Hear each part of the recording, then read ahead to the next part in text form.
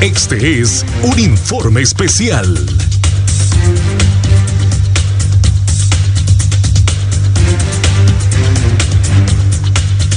Este es un informe. Se ha registrado en una colonia San, San Pedrana y hay un detenido, Orlin.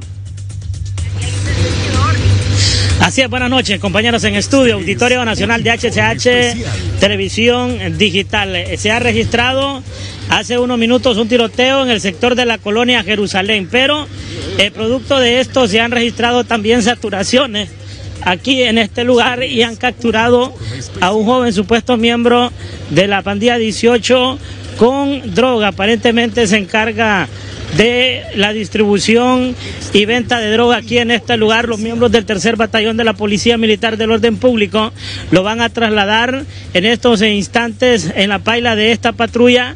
Ahí está eh, la evidencia que han encontrado aquí en el sector de la colonia Palmera, en el sector de la Planeta.